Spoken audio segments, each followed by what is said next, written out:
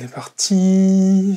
On est bon. Bonjour à tous, ici Thomas Moody et je vais vous parler de photographie.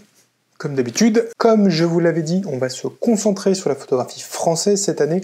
J'avais envie de faire ça assez simplement, du coup j'ai pris des bouquins que j'aimais bien dans ma bibliothèque, des livres que je pense que vous ne connaissez pas, euh, pour vous parler d'auteurs je pense que vous ne connaissez pas. J'espère que vous ferez plein de découvertes pendant cette vidéo. Et on va commencer sans plus tarder par le premier de ces bouquins qui s'appelle Edges de Dolores Marin. Alors Edges, j'ai beaucoup de chance de l'avoir parce que même moi je ne le savais pas, mais je me suis rendu compte qu'il était signé. C'est toujours la cata quand je vous montre des bouquins à l'écran, mais euh, je l'ai acheté dans la librairie du Tripostal à Lille et j'ai eu la bonne surprise en préparant cette vidéo de me rendre compte que bah, était signé par l'autrice. Donc euh, rapidement, qui est Dolores Marin Dolores Mara, c'est une photographe française qui est née en 1944. Euh, elle est née à Paris. J'ai mes notes à côté euh, comme d'habitude. Elle est née à Paris en 44, d'une famille assez modeste. Elle a d'abord travaillé comme couturière, puis elle a eu la chance d'être l'apprentie de Froissart. C'était un photographe parisien. Elle a travaillé dans son atelier où elle faisait globalement du rangement et des petites tâches euh, de gestion, euh, de gestion d'une boutique. Et quand elle a fini son travail, elle s'est mise à apprendre le tirage, le, le, développement et compagnie pour se mettre à la photographie petit à petit. Et elle a travaillé ensuite très longtemps pour plein de magazines pour faire sa carrière. Elle habite dans le sud de la France, donc complètement à l'opposé de moi, mais si Dolores Mara, vous voyez cette vidéo, vous êtes la bienvenue pour venir parler photographie sur la chaîne. C'est une petite bouteille perdue dans la mer. Et comme c'est beaucoup plus simple de parler d'images en vous montrant des images, on va passer sur l'ordinateur. Euh, donc là, ce que vous voyez, c'est quelques images du livre Edges, alors qui se retrouvent peut-être dans d'autres bouquins. Je ne connais pas très bien sa bibliographie. Euh, je vous ai mis mes préférés et il y a plusieurs choses qu'on va remarquer tout de suite. Premièrement, Dolores Mara, c'est une photographe qui met toujours, alors pas toujours, mais très souvent, une dominante colorée dans ses images. Donc là, vous avez une photographie d'un homme dans un cinéma. Je vais vous montrer les images et je les commenterai une à une après. Mais c'est la même chose ici pour cette photographie dans le square, ici pour la femme euh, dans un hôtel dont j'ai oublié le nom, et ici pour l'éléphant. Donc Dolores, euh, Dolores Mara, c'est quelqu'un qui fait une photographie qu'on appelle sensible. C'est-à-dire que, enfin, je sais pas comment l'expliquer, mais qu'on peut toucher avec les doigts euh, dans notre tête. Vous voyez, ça stimule un peu ça. Elle est floue, elle est...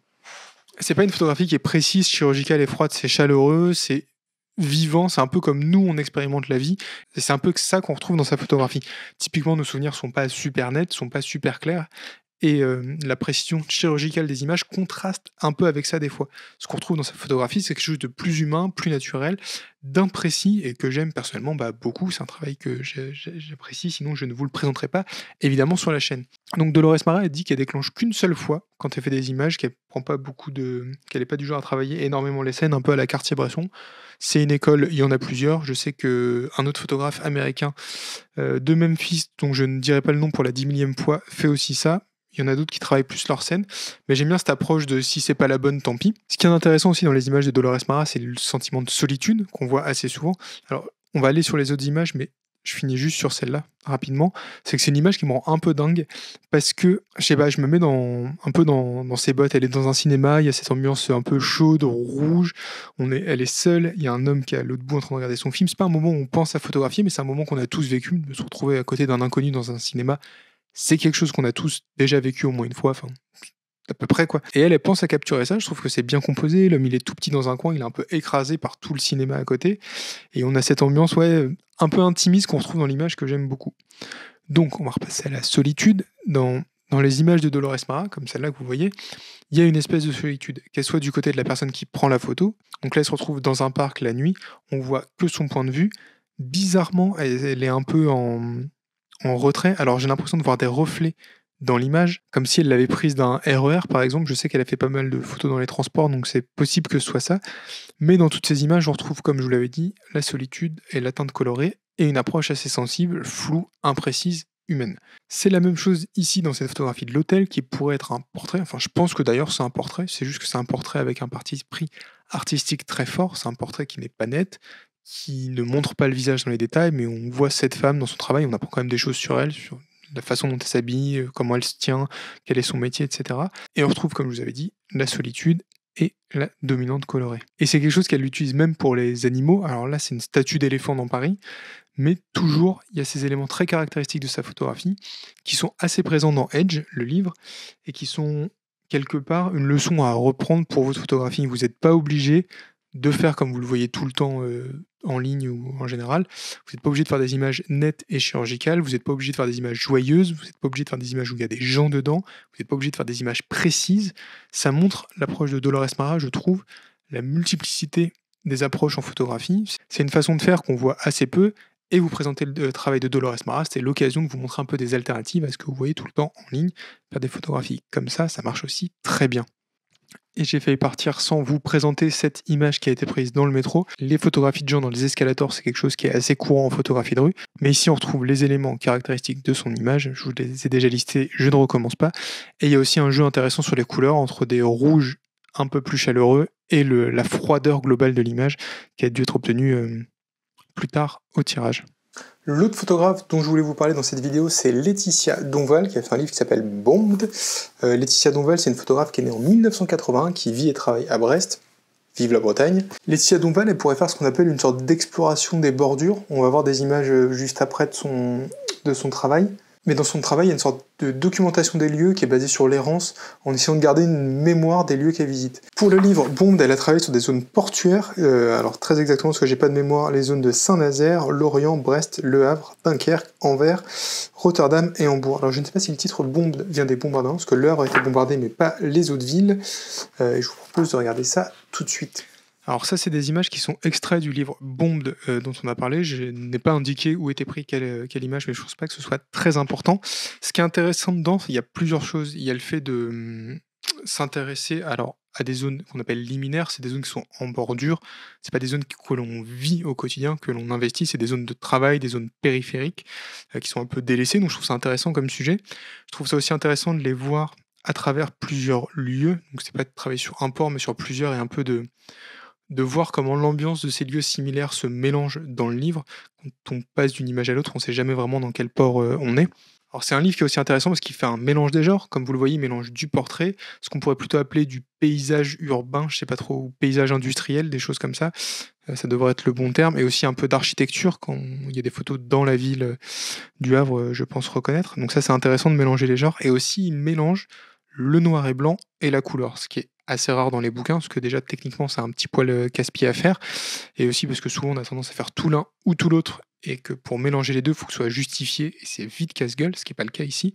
Donc c'est un double mélange euh, qu'on retrouve dans l'ouvrage, et pourtant ça se tient bien, ça se tient bien et c'est fort. Pourquoi? Parce qu'il y a cette ambiance qui est lourde, qui est pesante tout au long du livre. Alors, c'est pas négatif d'avoir une ambiance qui est lourde et pesante. Les livres photos, c'est pas, c'est pas de la, vais dire, c'est pas de la bande dessinée, mais c'est pas le cas de la bande dessinée non plus. c'est pas des, des, dessins animés pour les enfants. Le but, c'est pas que ce soit toujours beau, joyeux, rose et coloré. La vie ne l'est pas toujours, donc c'est normal que ça se retrouve dans les productions artistiques. Et ce livre arrive à, tenir ce fil-là tout du long avec, comme vous le voyez, des portraits. Euh, le portrait du monsieur dans le bar qui est seul, qui a un portrait un peu triste, il a pas une expression très joyeuse. Peut-être que cinq minutes avant, il s'amusait avec ses copains, mais là, c'est pas le cas. Idem pour les zones euh, que l'on voit, qui sont des zones périphériques, qui sont abandonnées, qui donnent pas très envie d'être parcouru, mais tout ça ensemble, ça forme un tout que je trouve très intéressant, et c'est pour ça que je me suis dit, tiens, pourquoi pas, on va vous parler de celui-là. Et maintenant, on passe au prochain. Et pour le dernier artiste, on va faire un doublé, ce... Et pour le dernier artiste, on va faire un doublé. Je vais vous parler de Mathieu Gafsou. Euh, Mathieu Gafsou, c'est un photographe qui est marrant parce que je tombe toujours dessus par hasard en fait. J'ai celui-là, je l'ai eu dans une braderie du CRP, Only God Can Judge Me, et celui-ci, je crois que c'était à Berlin dans une pas une braderie de bouquins chez un bouquiniste. Je suis le payer 10 balles, mais à chaque fois je tombe dessus un peu par hasard. Alors j'ai dit que je parlais de photographe français, il est franco-suisse, Mathieu Gafsou, donc je présente deux livres d'un franco-suisse, donc est-ce que ça compte comme un livre d'un français? Vous me direz dans les commentaires. Euh, il travaille sur des sujets assez variés, mais il a toujours une patte esthétique très forte que j'aime beaucoup. Euh, il, va travailler, alors dans les bouquins que je vais vous présenter, il y a de l'architecture et des sujets plus sociaux. Euh, qu'on va regarder ensemble. Bah, tout de suite maintenant, en fait, je vous propose d'aller voir ça. Donc, le travail de Mathieu Gafsou, vous l'avez à l'écran dans ce travail-là qui s'appelle Only God Can Judge Me. Mathieu Gafsou, il s'est immergé pendant un an dans le milieu de la drogue à Lausanne. Donc, les images que vous voyez, c'est issu de, de personnes toxicomanes. Et en fait, il utilise une approche qui est multiple que j'aime bien. Il y a plusieurs choses dans son livre. On a des portraits des personnes toxicomanes qui sont assez bons, je trouve, enfin assez bons, ils sont même excellents, euh, qui sont pas misérabilistes, euh, ce que, comme on pourrait facilement tomber. Donc c'est le cas du, du, monsieur qui est ici présent. Il y a aussi des natures mortes de tous les objets qui s'utilisent au quotidien pour se droguer. Donc il y a des choses assez dures. Là, on a la bouteille de seringue, c'est pas hyper joyeuse. Il y en a d'autres dans le livre. Et aussi il y a pas mal d'images euh, d'ambiance nocturne, donc c'est celle que vous voyez aussi à l'écran, des lieux où les personnes vont droguer ou vont se déplacer la nuit, et il y a presque un côté poétique à ces images. Elles sont un peu, vous voyez les éclairages, le, celle du bas est bleutée, il y a un truc un peu onirique dedans. Dans les autres, il y a, sur celle du dessus, il y, a de la brume, celle d'à côté, il y a des petites lumières jaunes, etc. Ça, ça donne un côté un peu rêve et c'est pas idiot quelque part, dans le sens où c'est un peu ce que cherchent ces personnes, on peut imaginer en se droguant, parce qu'on cherche à planer euh, alors, il y a peut-être plein de raisons euh, sociales qui amènent à se droguer, mais il y a aussi la recherche du plaisir d'aller dans un autre monde et compagnie. Et du coup, par l'image, il matérialise un peu ce monde-là que je trouve pas mal. Et ça permet d'avoir un travail qui est hyper varié, qui va mélanger portraits, nature morte, des paysages, comme je vous ai dit, plus oniriques, pour de ces multiples facettes, essayer de s'approcher le plus possible du sujet qui est la toxicomanie, en l'occurrence à Lausanne. Donc ça encore, c'est un truc que vous pouvez retenir pour votre pratique, parce qu'il n'y a pas forcément besoin d'avoir une approche qui est mono pratique, je ne sais pas si c'est la bonne expression, mais vous vous dites, par exemple, je travaille sur le sujet euh, des aides-soignantes, j'en sais rien, je prends un truc complètement au pif, euh, qu'on travaillait beaucoup pendant le Covid, voilà, et vous n'êtes pas obligé de faire que des portraits, vous pouvez compléter vos portraits de euh, nature morte, de paysages, de d'autres choses qui vont illustrer votre sujet et donner une image plus globale que juste un seul type d'image. Et donc pour le dernier livre, c'est le livre qui s'appelle Surface de Mathieu Gapsou. J'ai enlevé ma tête parce que sinon vous ne pouviez pas voir les images, qui sont quand même bien plus intéressantes. Cette fois, ce livre, il se passe en Tunisie. Dans ces images, il essaie de montrer l'écart entre, d'un côté, le désir de modernité et de confort occidental, et de l'autre côté, l'usage d'un habitat aux allures traditionnelles. Donc on a des maisons qui sont modernes, c'est ce qu'on voit par exemple sur celle d'en haut à droite ou l'immeuble, mais soit elles sont très modernes et elles ont le côté euh, traditionnel, soit elles perdent complètement ce côté traditionnel. Et il travaille sur ça. Et ce qui est marrant, c'est que ces maisons très modernes ont parfois un peu d'exotisme, ce qui semble être savamment géré. Et ce que vous voyez en bas à droite, c'est une image qui vient, je pense, du lieu du tournage de Star Wars, on dirait les, les fermes d'humidité ou de moisissure, je sais pas quoi, de, de Tatooine. Alors, ce que j'aime bien dans ce livre, et je pense que je suis pas le seul à l'aimer parce qu'il a quand même eu le prix HSBC, ce qui n'est pas rien, c'est que en faisant une photographie qui est d'apparence très simple, donc c'est de la photographie d'architecture très frontale, je pense au moyen format. Donc c'est quelque chose de très rigide, très classique dans sa forme en fait. En ayant cette approche-là, il arrive à dire plein de choses de la société tunisienne, à la fois de son désir d'exotisme et de tradition, de son désir de modernité, de la présence du tourisme, de la pauvreté et de l'abandon de certains lieux, etc. On retrouve plein de facettes de cette société, toujours en ayant une approche très directe des lieux et je trouve ça hyper intelligent euh, comme approche aussi. Et c'est un peu l'inverse du livre précédent. Dans le livre précédent, il parlait d'un sujet de plein de façons différentes. Et là, il parle de plein d'aspects différents d'un sujet de la même façon, avec une approche frontale de ces sujets et assez classique de la photographie. Et donc ce sera tout pour moi. J'espère que ce petit tour de ces photographes euh, Frenchy Frenchy vous aura fait très plaisir, vous aura fait découvrir des choses. Si c'est le cas, bah, n'hésitez pas à le dire en commentaire et à laisser un petit pouce bleu. Euh, n'hésitez pas non plus à dire en commentaire de quel photographe vous aimeriez que je parle à l'occasion toujours preneur de, vos bonnes idées. Et aussi, je suis photographe et je suis français, donc je suis un petit photographe français.